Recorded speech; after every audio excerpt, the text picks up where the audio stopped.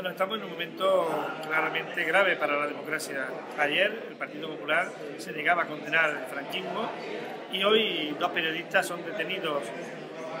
en estos momentos en el que hay que reivindicar la democracia, en el que hay que denunciar que el Partido Popular cada vez está más en la estela del franquismo antidemocrático y de una vez por todas, de una forma contundente, exigir la libertad de los periodistas que han sido detenidos simplemente por ser transmisores de la libertad de expresión.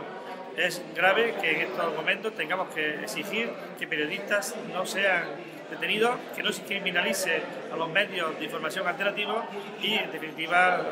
reivindicar la democracia frente al Partido Popular, repito, cada vez más en la estela del franquismo.